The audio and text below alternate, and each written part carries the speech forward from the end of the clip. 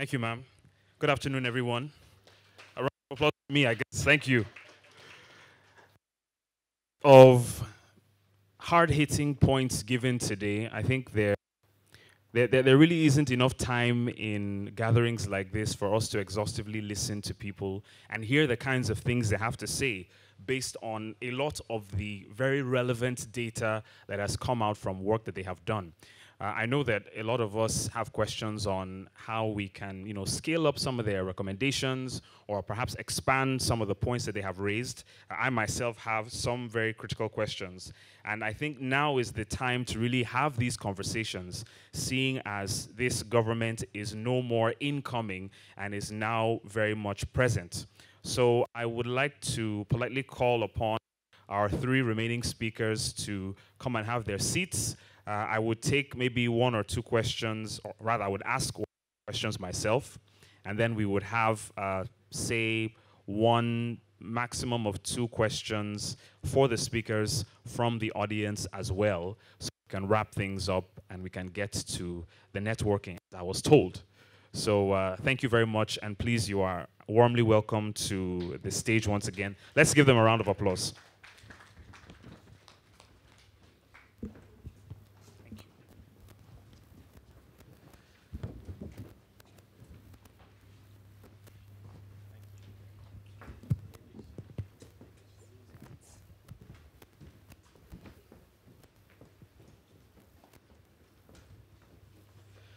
Thank you very much.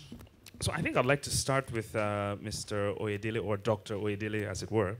Uh, great presentation. I think I was wowed primarily by how much Nigeria is losing in terms of money, monies it can make from taxation. And it really brings to bear some challenges that were noticed in the previous administration relating to not just monetary, not just the fiscal policy, but also monetary policy. And for anyone that has gone through the uh, Presidential Advisory Council's presentation, you know, you mentioned one of your recommendations was to create some sort of collaborative body between fiscal and monetary uh, uh, policy. There may be indications that that might be taken up. And in your view, uh, to ensure that fiscal and monetary policy is unified, collaborative platform works, uh, how do you think it can be achieved? Uh, what do you think the, the strategies and the approach of that yet to be constituted, if ever will be, body of fiscal and monetary authority? Oh, by the way, uh, the uh, PAC advised that it also include the vice president, the minister for trade and industry, and I think the chief of staff, if I'm not mistaken. But go ahead, sir. Yeah, thank you very much. Yeah, so this, uh, um, to address that question, there, it has two dimensions. So one is in terms of the revenue administration in Nigeria. So it's fragmented at the moment. So what you need to do is pull all the revenue collection functions into one entity, and that should be the FIRS at the center. The same thing should happen at the state le levels. It should be only the Internal Revenue Service. And then the agencies that are core to revenue collection, you should merge them. So for example, the Nigerian Customs Service should be merged with the FIRS. This is what you find in many countries. Ghana Revenue Authority, Kenya Revenue Authority, South African Revenue Service, HMRC, HMRC in the UK. So pull them together under one umbrella. So that way, um, you are able to leverage on their skill and their skill and be able to collect taxes more effectively. So, and then the agencies that are spread, you know, over a thousand of them, can then focus on their primary purpose instead of chasing revenue. The second dimension of that question is the uh, connectivity between monetary and fiscal policy in particular, but even more broadly with other economic policies. So you see uh, Naira redesign policy, the CBN did not even think about tax collection. Anywhere in the world, when you do currency redesign, tax revenue is one or number two objective of why you are doing it because people are bringing out currency, you're asking them questions, have you paid taxes? Um, you see the central bank still has a list of 43 items not eligible for FX. That's also the lack of connection between fiscal and monetary because what you need to do is don't unnecessarily heat up the forex market, allow everybody to go there to the extent that what they're doing is legitimate, and then use fiscal policies to discourage the consumption you don't want people to import. For example, I can say the import duties on toothpick is 200%, so that way you don't want to import it, you produce it locally. And then, uh, in addition to that, you also have uh, the disconnect in terms of, as we speak today, there are taxes that by law you're supposed to pay in foreign currency. In a country where you spend naira, and you have government agencies asking for levies, also in dollars, that does not increase the supply of FX in Nigeria, but it increases the demand for FX, and therefore uh, helps towards depreciating your currency instead of helping it to stabilize. So these are some of the initiatives that government needs to work on. And one of the recommendations is the same way we have the monetary policy committee, why don't you have the fiscal policy committee and then let them interact regularly? Uh, not only at the center, but also maybe FAC. Instead of saying you are going to Abuja to share money, nobody should be sharing money.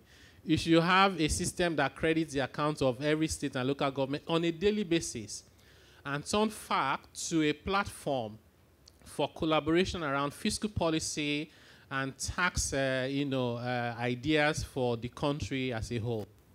Thank you so much for that, sir. Great, great response. I, I just remembered that a lot of what BudgIT does is also at the subnational level, as opposed to just, you know, federal. Of course, this particular question isn't something you can ask Mr. Oyedele to sort of um, disaggregate for the states since states don't have any control over monetary policy.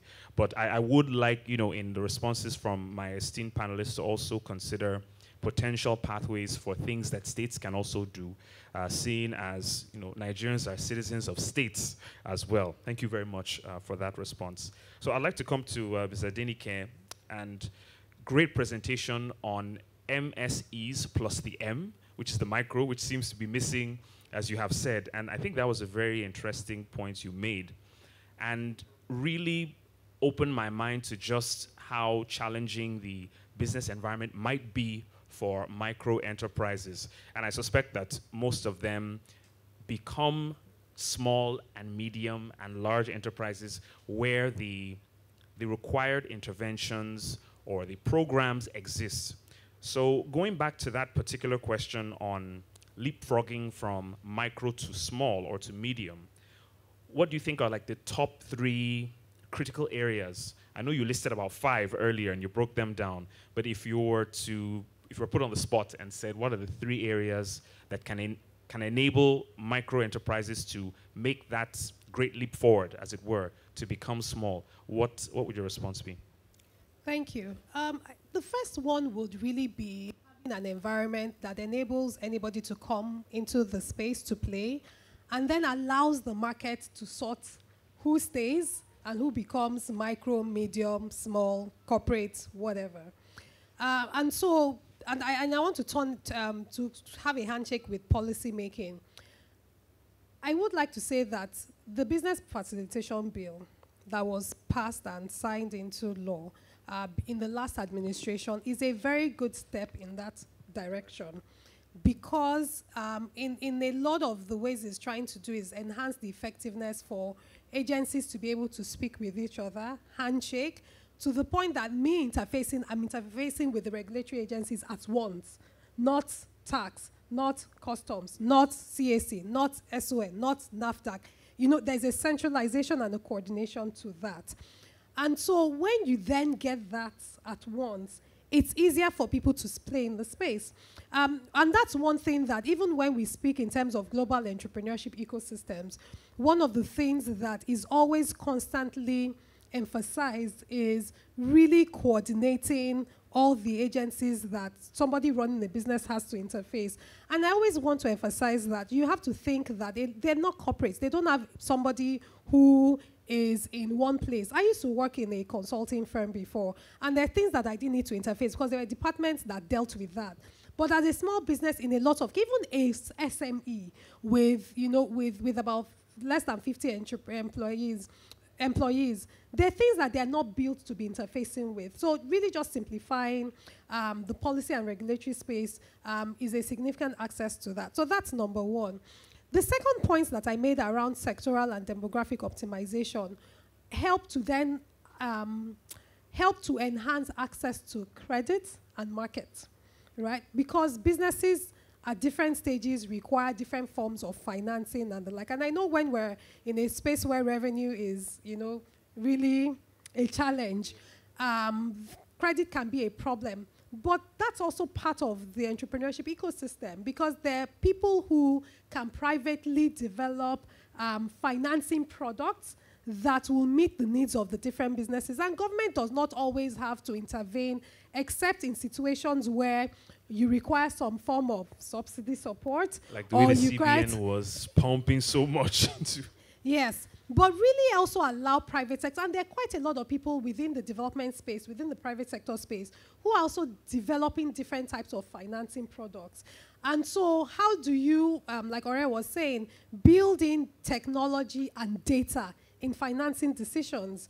How do you take advantage of platforms and bills that are already there? And I go back again to the Credit Reporting Act that was passed. Can I not look for financing and let the financial provider make those decisions because of my credit history? or whether as an individual and or as a business how do we get data and technology to be able to make um, those financing decisions easier and faster for business um, so that's number two.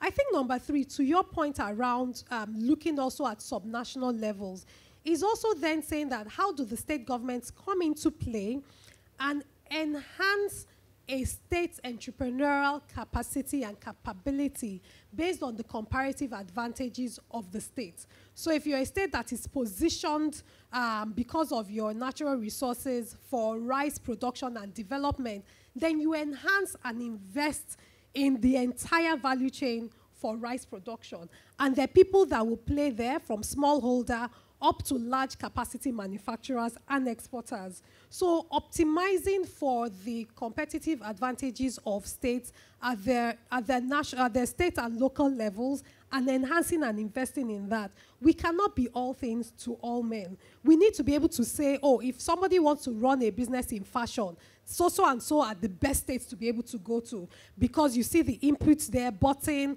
uh, fabric, materials, everything is there. So if somebody is, if people who are developing machinery, uh, machines for sewing machines, they go there. People who are trying to um, develop large scale um, um, uh, clothing, they go there. You know, and then another state can be TV and movie production, and that is there. Another state can be sports. Sports is something we don't talk about. So like hubs, hubs yes, for yeah. So creating hubs at geographical level that speaks to the demo, to the sectoral advantages or competitive advantages of of states and local governments, and then also looking at the human capital you have and really merging and and going with that. And that's why I keep saying we need to have an entrepreneurial heart in revenue generation in Nigeria. Um, what Abu had said earlier about water assets, our human capital, and sports is something that we've not even touched the surface about. Um, you, you, you go into places where you find a lot of young people who are confluencing around things. How can you enhance that? Do you understand? And use that as a point to, um, to create socioeconomic transformation that will generate revenue for um, the state, but also more impact, really transform uh, local, local, local economic activity uh, uh, and, and productivity. Thank you. Thank you. Thank you so much for that. Great. Please give her a round of applause. Very insightful remark, and it's it's always important for us to realize that these things are embedded in states, and there's a way that state governments can enhance business without standing in the way, like um, uh, Mr. Suleiman said earlier. Thank you so much for that. So I think I'll just go straight to uh, uh, Mrs. Leslie, and then perhaps I'll take some questions from the audience. Uh, if there's enough time, then I would uh, continue uh, with the panel. so, um, ma'am, you you said a lot about the digital space, the digital ecosystem and brought a lot to my attention that I had previously not really known, you know, bordering on inclusivity and uh, development for women and girls. I'm kind of interested in digital literacy because I know that governments around the world, especially in developing countries, developed countries, sorry, are, have realized the importance of digital literacy skills. And perhaps we have not completely grasped that in an information age, people need to have those digital literacy skills that are in some way different from numeracy and regular literacy. So, from your perspective, what what kinds of strategies or interventions can be adopted, can be taken up to improve digital literacy that can also even help inclusion for vulnerable groups? Thank you for that question. Um, when we think about basic literacy, I think that in this day and age, especially when we look at the jobs of the future, the jobs of today and the jobs of the future, um, we really need to start infusing digital in them so that literacy, basic literacy, is no longer considered the ability to read and write, but the ability to read, write, and also navigate the digital space. Whatever tool you are using, whether it's a computer or a smartphone. So I think that, number one, we have to look at the educational um, institutions, especially the formal educational institutions, starting from primary school. It is important that all schools have this um, digital literacy built in right from, right from, let's say, primary one. But really, I mean, children in nursery are already using these tools anyway, but they are using it as consumers. It's important that we start as early as possible to introduce them to it in a meaningful and productive way. So productive way meaning that they are building and creating things with it. They're not just um, using games, you know, as most do. Or they are learning things like um, PowerPoint or Word in isolation. Or they are learning parts of a computer, which is usually where we start from. What are the parts of the computer? Hardware, software, CPU, and all that. We need to start looking at it um, from a point where we are looking at them as users and we are looking at them as future innovators. Where, so we are teaching them the skills, we are unlocking their curiosity, we are enhancing their analytical skills. So it should actually be infused in all subjects. So for instance, they're doing maths, and then they have to use maybe um, go on the internet to do something. They are doing English. They have to use the system to write an essay or do their assignments. They're doing um, social studies. They have to get online and they have to do research because these are essential skills. You have to understand how to research, you have to understand how to find information online, you have to be able to find how to present that information. So whether that's, that's where the Microsoft Word or the PowerPoints would come in. But we're not teaching it as a standalone. We're teaching it as a tool in um, doing something, exactly, in um, enhancing a function. So I think that's how we need to actually basically look at our curriculum and we're, we're redesigning it. We're looking at all the different subjects and we're looking at the intersections with technology. That's really where it starts from. So that as they're growing up, they're going through school, they're already using these tools as second nature. And they're not thinking of it like, oh, I'm using the computer or I'm going to computer class or maybe I'm going to computer camp or computer school. It's already part of what they're, they're used to. And, you know, this is what's happening in many countries around the world. There's no such thing as, oh, a computer class because it is infused in their learning totally. So I think that that's a basic that we need to start from. That's very important. So that as we're having young people who are moving through the educational system, so from primary school to secondary school, of course, by the time they, you know, they're in university, it's part of them. So I think that is very, very important to look at. Thank you so much for that, ma'am. Great, great response really providing a level of context. Please uh, go ahead. Context to the need for these skills and the, the impact really on productivity and even on development. So I think I'll go straight to the audience Q&A. Please keep your question very, very brief and let us know who you're directing it to. If it's a general question, you can say it's a general question. Uh, yes, so uh, the audience, you now have the floor. Uh, I think I'll take a maximum of five, six questions at the very most. Thank you. Okay, there's a hand raised here.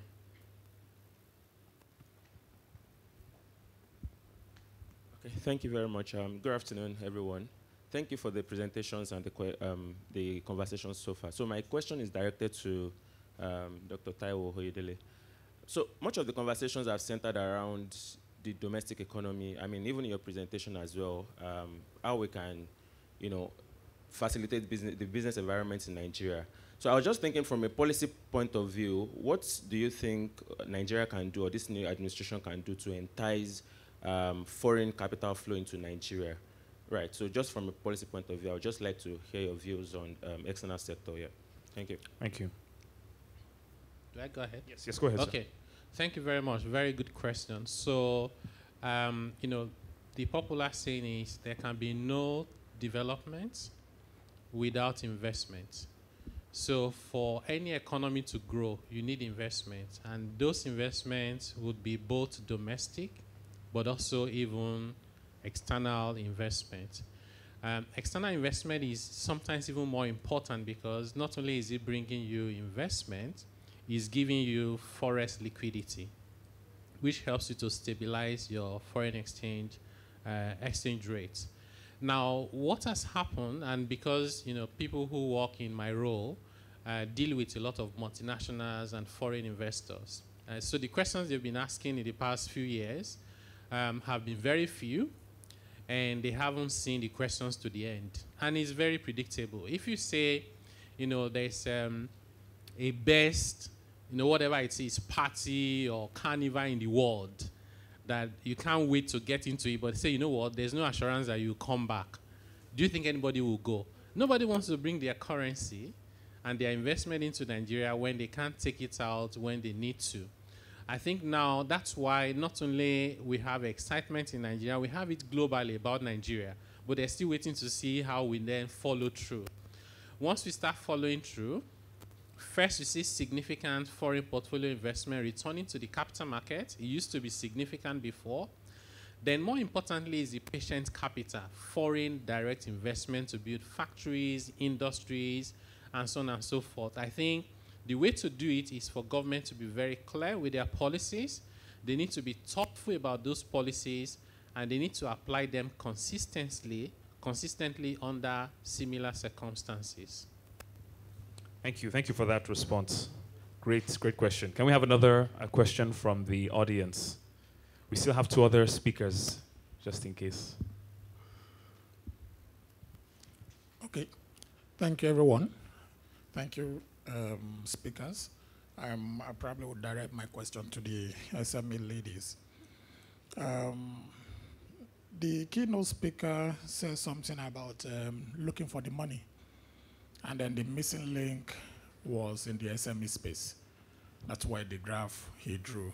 And then, if I think back, the government has done a lot to try to pull the SME sector up like uh, you would say, the um, to ease capital, the legislation for movable assets would probably provide ease of capital.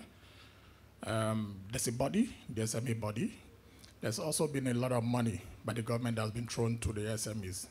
But with all of these government efforts, nothing has come out from the SME. Don't you think maybe we should look beyond government support and also look into the SME, issues of moral, trust, issues of, issues of moral risk. I think this should be addressed, and then probably that can provide um, a way forward to try to pull the sector up. Thank you. Yes, go ahead. Yeah, so that's a great question. I was asked to focus on what the government can do, and that's where I focused on. But you bring a very good point around the capacity of the MSMEs themselves to be able to build sustainable businesses, to be able to take access when access is given, to be able to utilize it effectively and grow a business. And that's why I said that it still goes back to the design of the programs and the policies. Where programs and policies are effectively designed, you target the ones, even at nano levels, that are able to effectively utilize the funds you give to grow. Even if you then made a mistake in the assessing, there's a way that the process, you understand, is developed that you won't make the same mistake again because you learn from it. So on the one part, you talk about capacity. You know, a lot of when Ore was speaking around financial and digital literacy, there are gaps. There are gaps even with our educational system that is feeding into the kind of entrepreneurs that we have. Um, I, I, I, one example I always use is that people have a, I had a math phobia. And so if you have a math phobia, everything you see with numbers, you know, scares you. I, I still have a math phobia. I, I had, though, I had. Thank God for um, people who were able to teach me how to look at numbers in a way that I then use now. But that is impacting the way start and build people start and build businesses general speaking because it's not just about the idea but it's your ability to be able to transform that idea and create a sustainable and venture with it and that's where i think between the supply and the demand is yes there are funds that have been made there's one presentation we have that has a whole dimension of the different types of MSME funding that has been created and sort of like the lessons from that. And that's the point. What are the lessons from that, right? So much funding has been invested. In fact, we don't even think that enough has been invested. It's just that what was invested was not probably invested in the most productive sector within that space. And so the returns that we get on that investment is not there.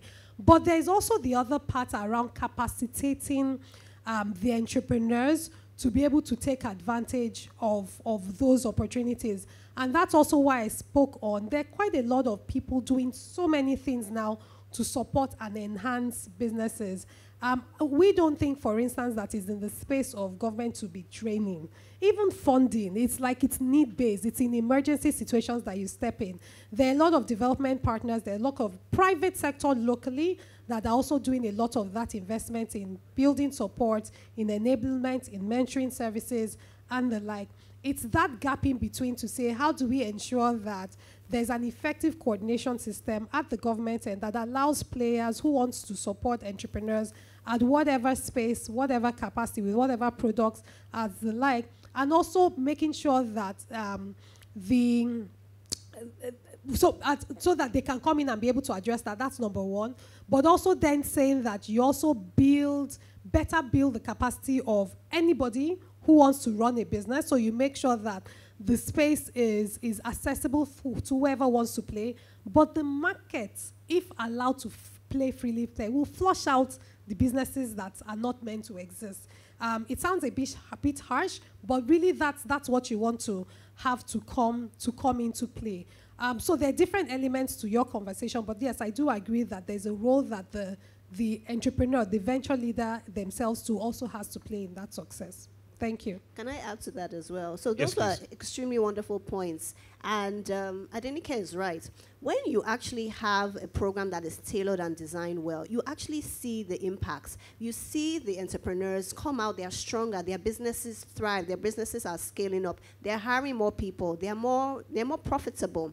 I think that we also need to look at the environments that the, the, the enterprises are operating in, and it's challenging. So I think that from that point of view, there is really a lot that has to be addressed. And I think we've spoken about a lot of it multiple taxes, levies, um, which are not official or officially recognized, and just the, the, the difficulty in doing businesses. You need a license for this, but that license is not easy to get. You have to pay extra. Yeah, so it's a really, really challenging um, environment. Then there are the added costs as well. You have electricity. Mm-hmm that you have to generate for yourself. So that's, you know, increasing your expense as well. So there are a lot of things that are really crippling, mm -hmm. you know, this space. So any entrepreneur that is surviving, I really have to put, you know, give them, you know, thumbs up or put my hands up to them because it really is a difficult space to, you know, to survive in. So the trainings are good, the funding is good, but like Adenike said, it's nearly not enough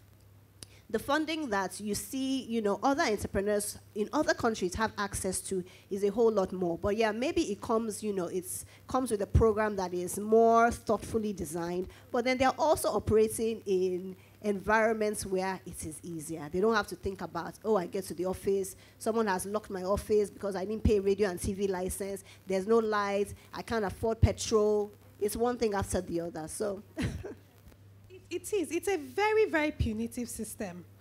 It's a, it's, when I say punitive, it is. Sometimes you will just speak with entrepreneurs and they are dealing with so many agents and agents, and that's what they've spent 30 to 40% of their day doing. Even if you look at the cost of them running the business and where the money goes to, it, it can be very, very harsh. And you know, the, why I like the word ecosystem is that an entrepreneur cannot grow beyond the opportunities in the environment and the possibilities in the environment that they're in. So even when you find entrepreneurs doing well, you are then saying that, imagine, that's why we have so many of our entrepreneurs, they go to Canada, they go to the UK, and they're winning business awards because the environment, and it's not like the environment there is perfect too. There are also so many issues with that. But you allow the environment and the market, right, to weed out the non-perfect. The customers, if you're putting a product to the market that is not good, the customers will make the decision for that. So once you've sorted out the things that enable a businesses to thrive, get out of the way. The market would allow them to play to grow effectively well. And then it goes back again to the program design when we design these programs, we've not done the work required to say, what are we designing for? How are we testing and learning from that experiences? If we've assumed that jobs we could be created, and this is saying that we don't have incidences like COVID and all of that happening, what do we want to see that is showing that is doing well? What is the growth that we want to see in these businesses? In what way are those growths evidence? You, you really have to put that investment to test and learn and then reinvest or you know you say okay it was a pilot is good it worked and then it, it, goes away. One of the most successful i'm sorry i'm taking that one of the most successful initiatives and if you if you check around on the internet is there was um, that the business plan competition that um, the Ministry of Finance did with the World Bank during um, during Okonjo's Iweala's time, and they will tell you that again, it wasn't perfect, but they will tell you that that show that was one of the most successful government financing programs that has happened because you put in capital, but there are milestones to that capital. You're not giving people money at once. So yes, you have five million, but this 100k for you to get, then get the next 500, we need to see this. If we don't see this, we'll first of all check to see if there was an anomaly, and you know maybe we'll look at it again. And so there's milestone around that. And if we if we don't, if we are not intentional in designing large-scale programs, we're just going to be flushing money down, and then the entrepreneurs too are then frustrated because they feel, oh, all this money is going there, it's not coming our way. But the the government is also frustrated because the money is not um, deriving the returns that we expect to see. And that's also why I said that private sector needs to be investing more in this type of spaces. Because when you are putting down one naira, you, you know how you, you expect to see the returns from it. Thank you. Thank you. Thank you very much for that. Um, can we have one, two more questions at the very most? Uh, if you don't ask, please, it's even good for me. I also have more questions for them. So uh, the mic is uh, going around. None? Okay, there's someone at the back in a uh, gray jacket.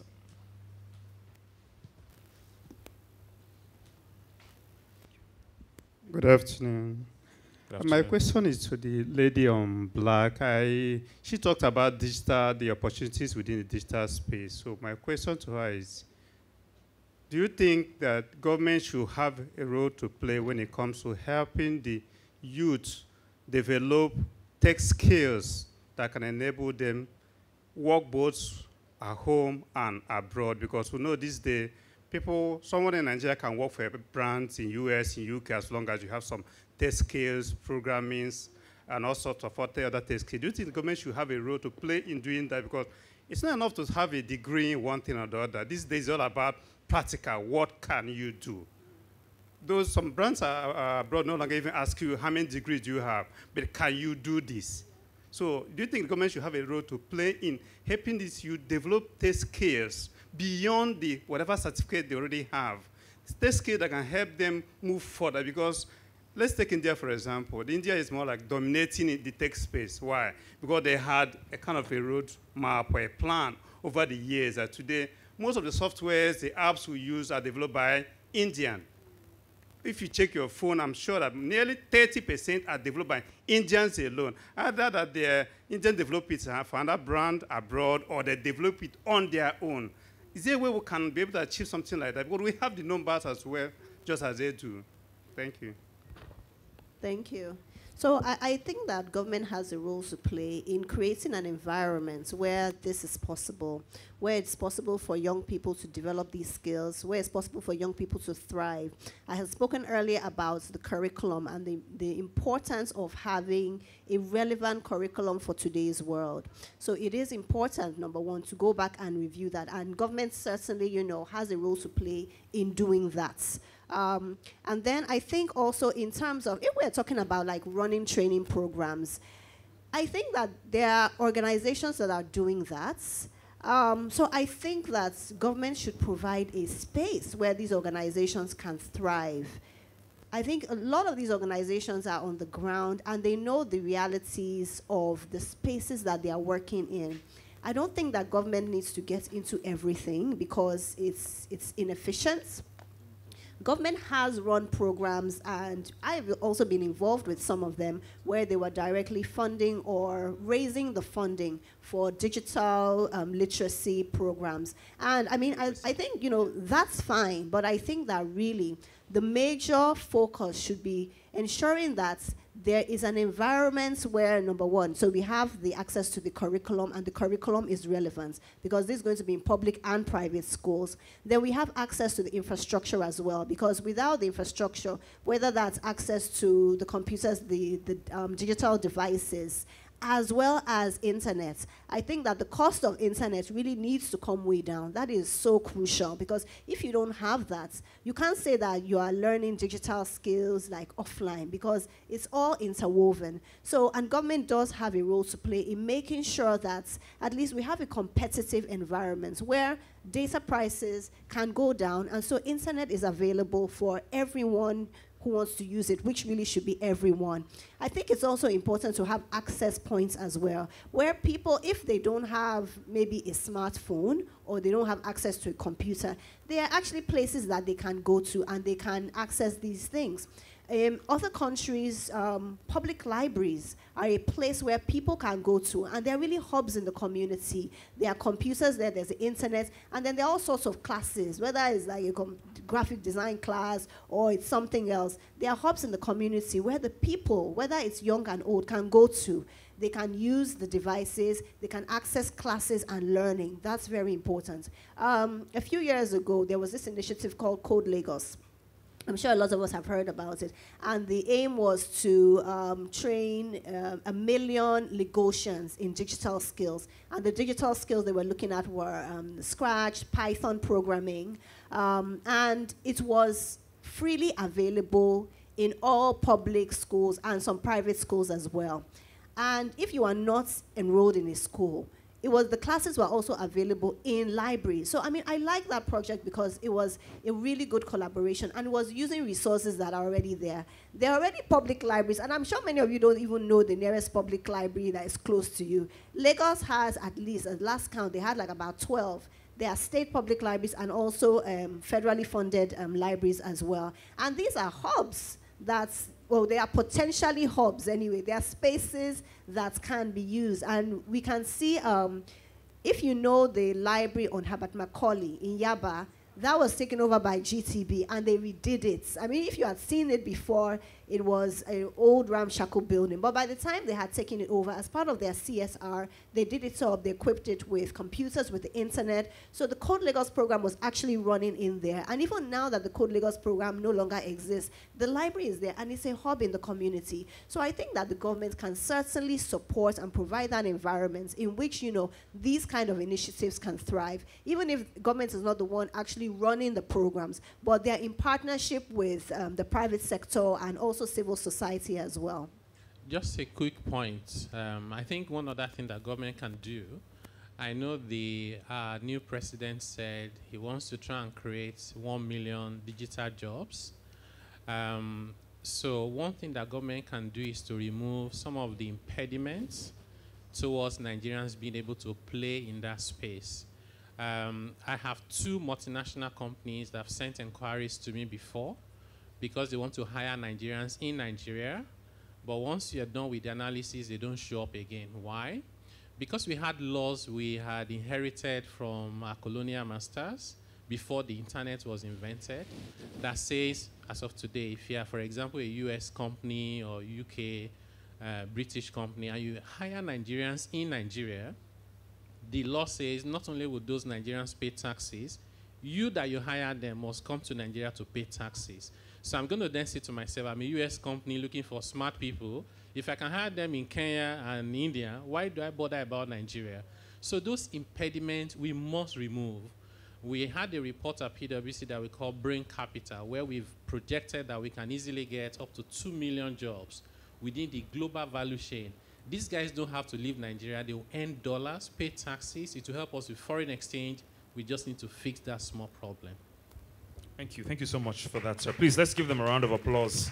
I think it would not be overstating it to say that since this uh, new administration is yet to appoint ministers, it can choose from amongst our speakers here. Please just make me your special assistant. That's all I ask.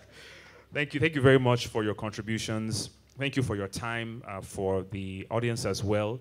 Uh, this is a first of a kind for BudgIT, really, looking to the private sector. A lot of the conversations we have in our organization tend to be with the public sector and with organizations like ours.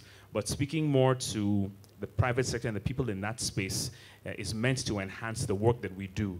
And we are delighted to have you attend uh, the first of its kind for us. Uh, please, let's give another round of applause to our panelists as we excuse them back to their seats and we call upon the, the host. Okay. Okay, pictures. All right, because we quickly have them on stage, let's quickly take our pictures with them now, and then we will wrap things up. Uh, Seun will come with the closing remarks.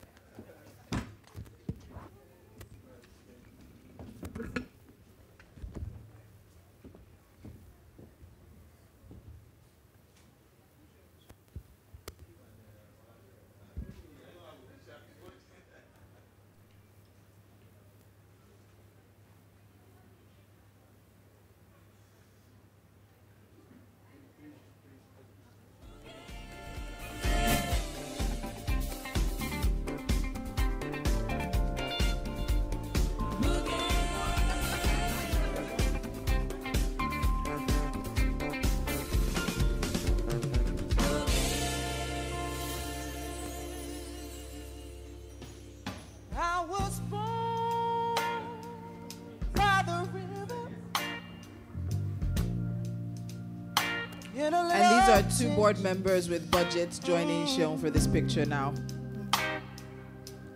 Like the river I've been running, running ever since. All right, please let's give let's give all of our speakers a round of applause one more time, giving their time and of course their attention today uh, for everything that they've shared with us. And I do hope that we have been able to take away some valuable things. I'm going to hand over to Seun for the closing remarks, and then there'll be networking. Um, thank you so much. I don't want to be the one to be between you and your uh, lunch. This closing remarks should have been done by Mr. Olajide, but it's unavailable absent. Um, I want to thank you so much for your patience. Uh, first of all, I want to thank um, our keynote speakers, our speakers, Mr. Taiwo Oyedele came in very, very early. Thank you so much for your commitment. Interestingly, we had this session when Buhari was there in 2015, and he was also in that event. So we're really grateful and thankful for always showing up at this time. And we hope, you know, another, span of has started again. We hope this time it's, it's better and it's different. Thank you so much, um, Ms. Adeyemi. Thank you so much, uh, Mrs. Um, Orelo uh, Shomolule. Thank you so much for your incredible presentations. I want to also thank all everyone that has been our guests. Thank you so much for coming and for your participation and for your attention into this. Um, this is the beginning of a great conversation. So we will start continuous engagement. Everything we have done here, we'll go back and listen to it over again. We'll come up with a policy note, which is what we did in the previous time, and we'll share. I mean, I remember then we shared with the vice president, um, Professor Yemi Osinbajo, and we had some conversation with him in the early stage. And I don't know what went wrong at the end of the day, but uh, I still have that document. Uh, I'm sure some of you in BudgIT have seen it. Uh, we call it finding money for Buhari or something like that. Um, yeah, but this time again, we'll go back to the same people, the technical team, the presidency and co, and share some of the findings in here And we hope that they would listen um, because time is ticking and we are running out of choices. Thank you so much, the BudgIT team. Thank you, Victoria. Where is Victoria? Please let me call Victoria. Um, Victoria has been a lone woman team. It's a lone man team, but she's been a lone woman team who's anchored the entire uh, entire work, and she's gotten great support. She's not around. She's gotten great support from the entire team, research, comms, and everyone. We're still going to take pictures as BudgIT team at the end of this. But thank you so much. Thank you so much, Cheryl. Um, Shell and myself have a long-standing relationship, and we also are actually should we say village people or be town people at this point? We're Ogbomoso people, so the, we met and then we found out we had uh, family connections. But it's been a fantastic um, opportunity once again to work with BudgIT on these conversations. Please share your thoughts. I see some conversations online already. Taiwo, um, your presentation, all of the presentations have been a hit, and there are questions, and that's what we're trying to encourage and inspire Nigerians who ask questions and who demand accountability from those that we have vested power in. Uh, Taiwo mentioned a, um, um, a report that PwC did on brain exports, and I actually spoke to their chief economist. So if you're interested in looking at what PwC is projecting in terms of what Nigeria can get from brain brain exports, you can go to News Central's YouTube channel, and that conversation with Dr. Andrew Nevin is there. My name is Tolulope Adila Balogun. This is, I guess, a side gig. My main gig is on News Central, which is a Pan-African television station. I'm head of programs. I also do the business show. I'm I do a lot of things. So um, I'm always here and available. So any conversation. So please use the opportunity to network after this. Take pictures as well. The ushers will come to each table when it's time to eat. So let's please do that in an orderly fashion as well. But in the meantime, take your pictures, network, ask your questions. The the speakers are still here, but don't bombard them. Let's also not just you know crowd them a little bit too much. I know that happens after events like this. But once again, thank you so much for being here. Uh, this is brought to you by BudgIT and of course supported by the MacArthur Foundation and we look forward to more conversations like this. Thank you, and have a pleasant afternoon.